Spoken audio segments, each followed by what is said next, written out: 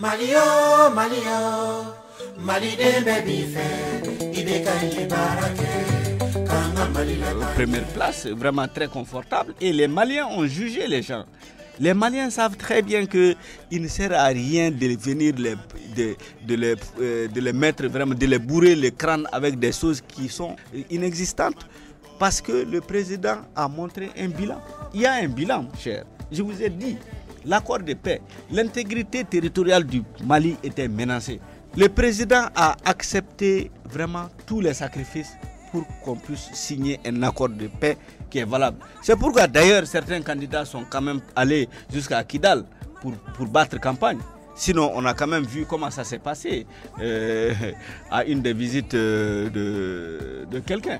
Donc, ça, c'est un acquis qui est considérable, qui est là. Donc, il n'y a pas ces guerres fratricides au nord entre, je ne sais pas, groupes. Bon, la sécurité absolue n'existe même pas au sein du Pentagone aux États-Unis.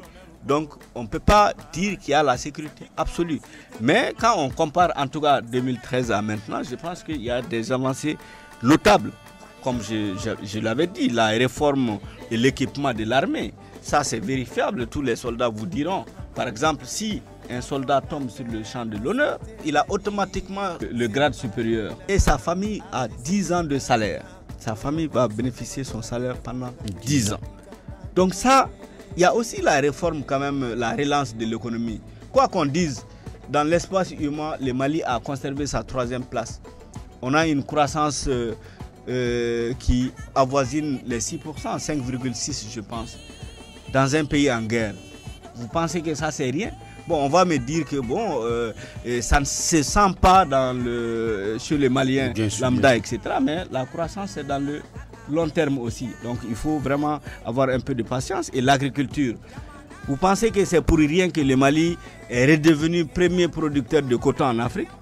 C'est pas rien. Quel Donc, est le secret? bah, quel est le secret? C'est que l'État a subventionné l'engrais, etc. Et ça aussi, ça, c'est d'ailleurs euh, un des bénéfices de la croissance économique.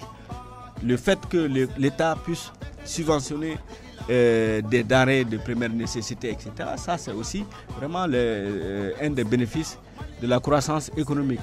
Donc, euh, les infrastructures aussi, on a, le président a beaucoup fait. On a vu les routes. Moi, je suis vraiment pressé que le tronçon non Sombougou euh, Djalakoredji finisse parce que c'est ma route. Et donc, euh, il y a aussi quand même, il y a eu quand même la loi sur le genre qui est quand même extrême. C'est une première euh, euh, au Mali. Mm -hmm. Donc, la lutte contre Ebola qu'on a rapidement circonscrit de manière professionnelle et efficace. Et je pense que les Maliens ont compris que le Mali avance vraiment. Le président n'est pas un vendeur d'illusions, mais son amour pour le pays est incontestable. Certains qui pensent vraiment dire des versets coraniques ou des paroles d'évangile, je pense que les Maliens ont désormais compris. Hein. Ces appels à dire non, antesson, antesson, au tesson, et ni tesson. Parce que M. Kanambay, la chose même, c'est quoi? Depuis euh, bien avant la tenue de, de, ces élections, le premier tour, les gens se disaient qu'il y aura la corruption autour de l'élection. Ça, c'était prédit. -hmm. Avec euh, le résultat, peut-être euh, ils vont peut-être se dire qu'ils sont, qu'ils avaient raison à son temps. Mais la corruption, qui a corrompu qui? Qui a corrompu qui? Mais les gens disent, on parle, mais quoi? Moi, je, je, suis plutôt scientifique. Donc, quand, pour discuter avec des gens, il faut amener la preuve. On dit qu'on a corrompu, on a dit, on a dit, on a dit. On, vous savez, c'est. Moi, je ne vais pas définir les pronoms on, mais franchement, euh, les on dit là, ça ne passe pas euh, avec moi. Moi, je veux des preuves palpables. Tout le monde dit qu'on lui a dit mais vous n'allez jamais trouver la source. Non, Alors, ça ne va pas. Sur euh, une des radios internationales, nous avons euh, eu écho cet après-midi qu'au niveau de la centralisation, les travaux étaient euh, aux environs de 40%, 40 dans, dans l'après-midi, aux environs de midi. Où ça C'est quelle commission? De toute façon, la communauté internationale, on a exigé que la communauté internationale, les observateurs participent euh, à la centralisation des résultats. Ils étaient là. c'est pas sorcier, ça a été fait devant tout le monde. Mais euh, les, échos, dans les échos, on a, on a eu, euh, comment on appelle, des, informations qui disaient qu'ils n'avaient pas l'accès à tous les documents. Mais accès à tous les documents, dans quel pays sérieux au monde, un pays souverain, est-ce qu'un Malien, un observateur malien peut oser aller aux États-Unis pour dire, pour demander euh, les documents du FBI, la CIA, etc comment est-ce qu'ils font, comment ils produisent ces, euh, euh, observations, etc., ces, documents? Donc il ne faut pas... Voilà, je pense que le Mali a suffisamment ouvert ses bras à tout le monde de manière vraiment euh, l'Union européenne, l'Union africaine, la CDAO, etc. Tout le monde était venu, tout le monde est là. La presse internationale, tout le monde est là. Maintenant, si je vous invite chez moi, il faut quand même être content que je vous donne à manger, à boire, à vous donner les lits. Mais si vous voulez vraiment monter, dormir dans mon lit à moi, je pense que ça, vous cherchez autre chose. Vous cherchez la petite bête. Donc nous, on est transparent, il n'y a pas problème. Je ne sais pas qui, euh, quelle presse internationale euh, dit ça. Je, pense que ces gens, vous savez, on sait qui ils sont. Hein.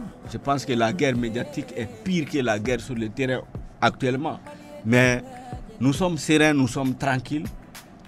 Nous, sommes, nous mettons à disposition tout ce que les gens veulent de manière transparente. Mais si les gens sont pressés et ils veulent avoir ce que nous-mêmes nous n'en avons pas, nous n'avons pas, je pense que c'est quand même dommage. On aura aussi appris qu'il y a eu des résultats de l'intérieur qui étaient venus, mais sans les procès verbaux, les, les PV. Non, mais est-ce que vous allez croire à ces, à ces, à ces, à ces à ces histoires-là? Vous savez que le Mali est le, seul pays, le premier pays en Afrique à avoir accepté de financer même les assesseurs de l'opposition. Il y a certains candidats qui disent qu'ils n'ont pas de moyens pour payer des assesseurs, etc. L'État a accepté de financer, de payer les assesseurs de l'opposition, les délégués, etc. Vous avez votre président, votre délégué, votre mandataire, etc. Tout le monde, tous les partis politiques devraient avoir ces éléments-là dans les bureaux de vote. Mais il y en a même qui ont osé dire qu'ils n'ont même pas, vous savez, de, euh, euh, assez de moyens pour des mandataires et des délégués. Mais vous ne devrez même pas vous présenter aux élections. Je pense qu'on a on, on, permet tout au Mali. Ben, c'est bien pour la démocratie, mais je pense que les gens devraient avoir l'humilité, la modestie de dire que, bon, vraiment, cette fois-ci, je ne suis pas prêt je vais aller cultiver un, grand champ à l'Office du Niger et quand j'aurai vraiment suffisamment les moyens de ma politique, je vais m'engager. Et malheureusement, c'est ce qui manque à certains. Donc, euh, euh, nous venons de voir les, premiers résultats. Est-ce que déjà demain, euh, le, camp va commencer les négociations avec les autres partis et qui, qui, ne seront pas au rendez-vous du second tour? Bah, C'est eux qui devraient normalement venir négocier avec nous parce que c'est nous qui sommes euh, vous savez, quand même euh, en bonne position. Mais nous sommes ouverts à tout le monde. Hein. Vraiment, nous nous ne rejetons aucun Malien. Tous les candidats, tous ceux qui se sont présentés, etc., sont des Maliens. Les Maliens sont toujours les bienvenus chez nous. On ne cherche pas la petite bête. Nous sommes là, nous sommes ouverts, nous travaillons pour le bonheur des Maliens. C'est tout. Alors, nous, sommes, nous acheminons pratiquement vers la fin de cette euh, émission spéciale. Euh, de la dernière question, quel est votre appel à l'endroit de tous les Maliens de l'intérieur et de l'extérieur?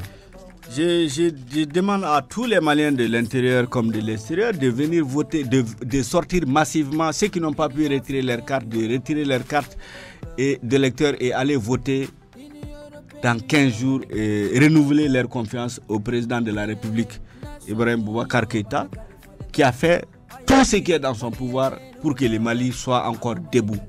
Donc, il faut que tous les militants se mobilisent. Il ne faut pas aller écouter des gens. il ne faut pas se laisser raconter. Si vous avez des inform vous voulez vous voulez avoir des informations claires et nettes, vérifiables, venez nous voir. Il n'y a aucun problème.